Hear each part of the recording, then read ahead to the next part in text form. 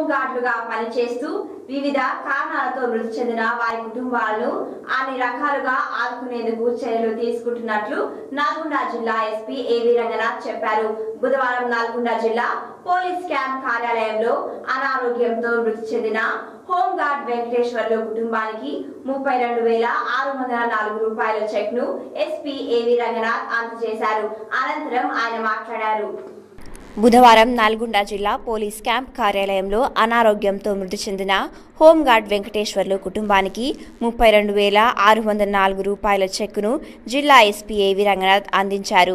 ఈ సందర్భంగా ఆయన మాట్లాడుతూ గుర్రంపోడు పోలీస్ స్టేషన్లో పనిచేస్తూ అనారోగ్యంతో మృతి చెందిన వెంకటేశ్వర్లు కుటుంబానికి గతంలో హోంగార్డుల ఒకరోజు వేతనం నాలుగు లక్షల ఇరవై వేల ఆరు వందల యాభై నాలుగు రూపాయలను అందించడం జరిగిందని మిగిలిన ముప్పై రెండు వేల ఆరు వందల నాలుగు రూపాయలను అందించడం జరిగిందని చెప్పారు.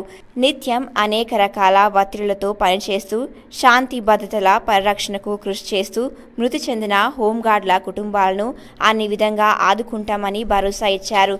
తెలంగాణ రాష్ట్ర ప్రభుత్వం పోలీసుల సంక్షేమానికి సైతం అధిక ప్రాధాన్యత ఇస్తుందన్నారు. హోంగార్డుల సంక్షేమానికి సహకారం అందిస్తామని తెలిపారు.